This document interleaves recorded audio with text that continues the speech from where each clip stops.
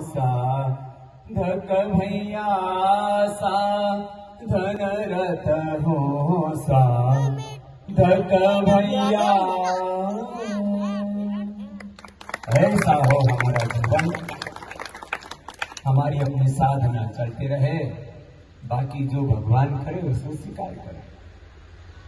देखो, जीवन में सत्य तो थोड़े से जो चार वेदों की बीस हज़ार ऋचाएँ पढ़ लो।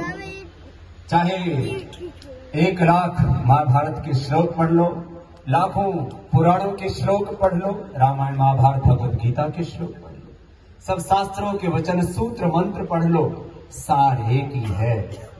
सब रिश्ते नाते भगवान के नाते निभाओ। भगवान गुरु बन करके ज्ञान देता है, माता पिता बन के जन्म देता है। और पति पत्नी का ये जो स्वरूप है, ये भगवान धारण करके संसार को संपत्ति के रूप में आगे बढ़ाता है। जो